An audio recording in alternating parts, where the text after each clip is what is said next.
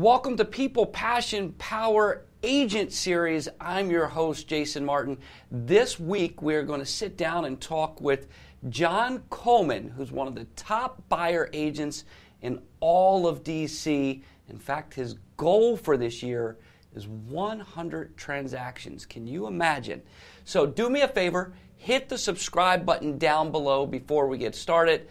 It lets us know you're interested in what we're putting out there. So, if you're ready, I'm ready. Let's roll. All right, you're watching People, Passion, Power with Jason Martin. We're two guys that are passionate about real estate, and we're super passionate about understanding how people grow their business. And we've got a member of the Jason Martin Group here, John Coleman, who is an absolute stud in the industry. I'll say that on your behalf. You cool with that?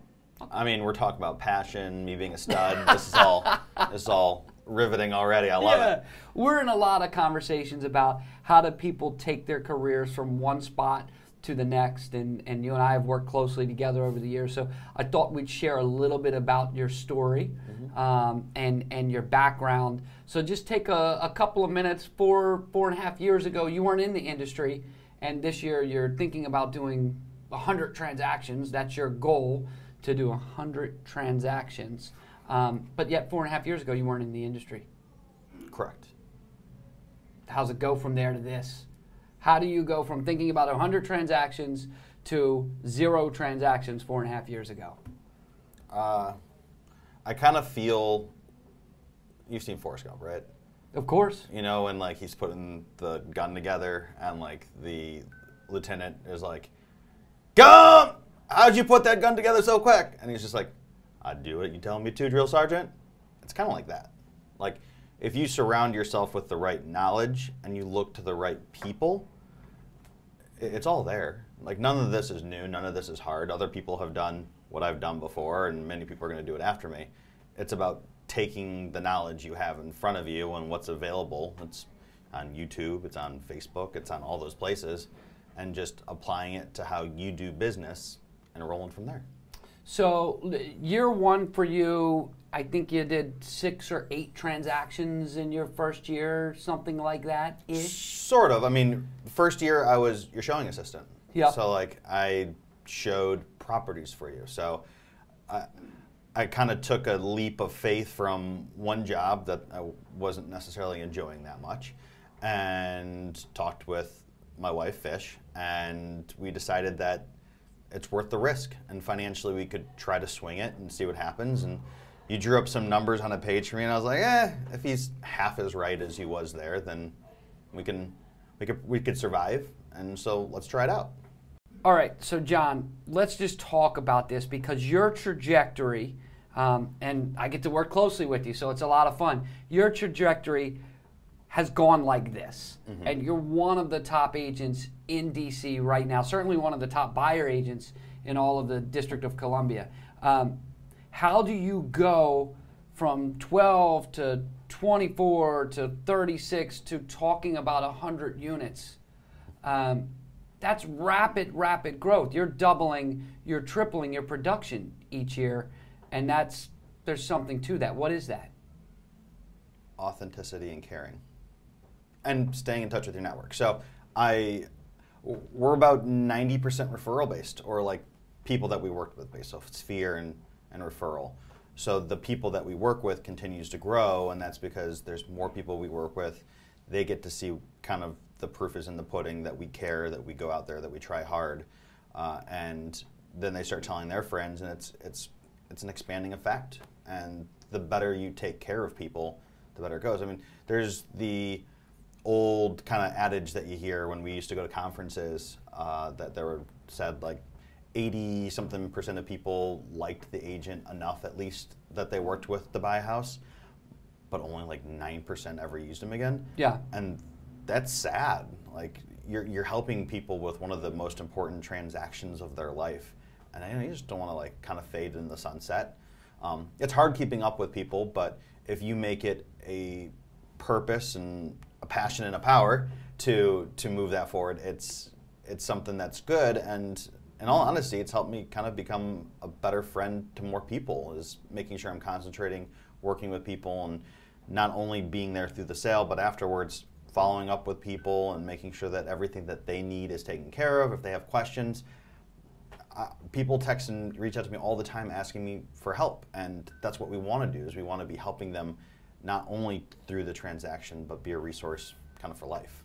So, what do you think your biggest challenge? And, and you and I joke, but we're dead serious. No year gets easier for us. Mm-hmm. We, are always talking about that, and we, we set the goals at the end of the year, and you're like, oh, I guess it's not getting any easier moving mm-hmm. forward. That that's how we approach it. But what would you say was your biggest challenge? And I know that we're going to be talking to a lot of people today who are kind of stuck around that 12 transaction mark. Was was it hard for you to go from 12 to 36? Yeah, it was. It was very hard. That that that jump was hard. Probably the hardest one there was because there's a change of mindset. Uh, if you ask my wife what kind of hours I work, I work a lot, and but I'm passionate and I love what I do, so that makes it okay. Uh, but it's not only about the number of hours you work, which I think people get confused about. It's how strategic you are with your time. Um, so I'm very big into making sure that my calendar is very, very specific. And it seems that every year, when I plan to do more, my calendar actually gets more specific. Uh, and so, if you looked at my calendar right now, I uh, certainly this was on there, but you can start to see like where my morning is. And we'll, we'll post that for yeah. everybody. We'll, we'll put that up for everybody. So where my morning is, I have the time I set aside in the morning to then try to develop new business because if that's the hardest part about the business and that's why i tell anyone trying to get in and really do it is it's one thing to service business and that's that's the fun part that's the easiest part uh, the hardest part is trying to find new business and so that's that's something that we spend a lot of time doing and if you look at my schedule it's front loaded so i try to have a very good morning, and then I try to get into the office and I do the hardest part of my day. And then from there, once noon hits, it's kind of like there's like a tidal wave that comes over with everybody in real estate. And it's like, now we're going to deal with everything else that needs to be done with today. But at least I have those core things about moving my business forward. Is there a, um, is there a magic pill? No. No, I wish there was. I absolutely wish there was. Um, well, actually, I, I, I mean, candidly, coming and working with you is it's kind of its own magic pill. Like I tell people, I paid them to say that. Yeah, of course. Uh, the the important thing for me, like I, I talk to agents all the time that have done it on their own, and that's that's profound to me. I don't know how they went from where they were to where they've been because it's hard and there's a lot of things to learn throughout the way. And my ability to you know call a mentor up or call someone I knew up and ask the questions when you're frantic at 9 p.m. when you're writing an offer um, is, is very very helpful. And in all honesty best thing for your clients when you're early in the phases. So understanding that someone's there to help you out and push you through that that catapulted me. Like that there's no doubt about that. Um, and you know one of the fun things as as our team has grown we get to have ideas and concepts from every different person that comes in. So it's kind of like every time you walk in the office, it's like you're kind of like plucking a little something yeah. out of something somebody else has done. And I, I, like to think that some of the stuff that I've done, people can pluck and try to work with it.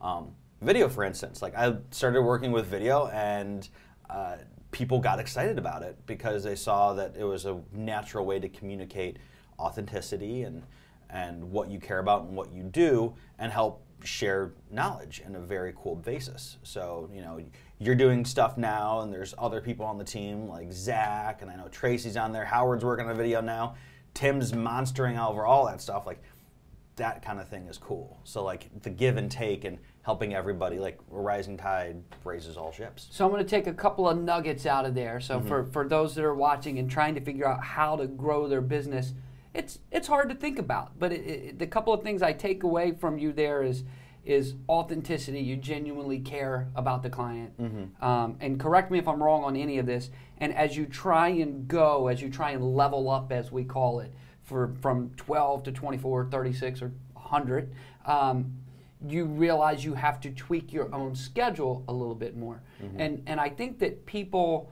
um, get caught. My own experience is people get caught in the well. What is John doing to get leads? You've already answered that. 80 to 90 percent of the business for us anyway is referral based. We don't we don't pay for many leads on Zillow. I mean, we pay to have uh, $100 a month to get the leads off of our own listings, but uh, it's all referral based. But you're very strategic with that, and that's that's something anybody can do. It's a relationship business. Mm-hmm. That's a it's the key part of it. People want to work with someone they trust, and one of the things I do when I sit down with people for the very first time, one I tell people them I tell people to interview multiple agents. I've got videos on it telling it. And when someone sits down with me, one of the biggest things I stress, especially if they mention that they're interviewing multiple agents, I say, good, you should interview multiple agents and pick the one that you vibe and trust the most because you're about to go into a foxhole and you want someone that you know and trust. And if there's someone else that you meet that's more on your level that you're feeling, go with them. And I'm pumped for them. That's that's probably the biggest mindset shift I've had is I just want the best for all buyers out there, which is why I've started to just create content and put it out there so anybody buying a home in Washington D.C. can look at it. And that's it. That's it. You just genuinely have their best interest at heart. Mm-hmm. And if people want to reach out to me, of course I want to work with them. But if I can make it so someone that maybe is working with a less seasoned agent that has a question that ends up going on Google or YouTube and finds an answer that strategically helps them and they feel better and more comfortable and they can make a better decision, that's cool. And you know, maybe they'll refer me to their friend because I was the person that gave them the best information. Yeah, that's awesome. I had an example today. I hope you guys will appreciate, and I know that you will. We had a client that uh, a tenant wanted was living in their property that they wanted to sell, and the tenant wanted to buy the property. And I looked at it and I ran the numbers for him, and I said, "Look, here's the reality. That's a pretty good situation for you, seller. Mm-hmm. That's a great situation, and I'm going to help you. And here's the contract. Fill it out, and you guys." Get the deal together. Well, I got an email today, and uh, you know, there's a lead from that right away. So mm-hmm. just coming from a good spot is how how to grow the business. Why do you think people get stuck? Look at like somebody that's doing 12 deals or eight deals or six deals, new, old, whatever level in the business, age or how long you've been in the business. Why do people? I'm fascinated by, but people that just go like this. Mm-hmm. Some it's by design because of their life and family and kids, mm-hmm. but others genuinely are stuck. Mm-hmm. How do how do people get unstuck? I find that people try to do too much to change their business at one time. It can't be you read MREA or like one of those books and like you can implement everything all at the exact same time. You got to have your base and then you got to layer on. So like I tried open houses. I tried better open houses. I did this. I've tried doing multitude of different things, but I never tried to do all of it too much. When I started to, I, I just use video a lot because it's on my head today. But like when I started to do video, the first thing I did was sit in front of my computer and record a really bad video. And then the next one, I added text on it. And the next one, I tried to improve the sound a bit. And it's you can take that to your business too.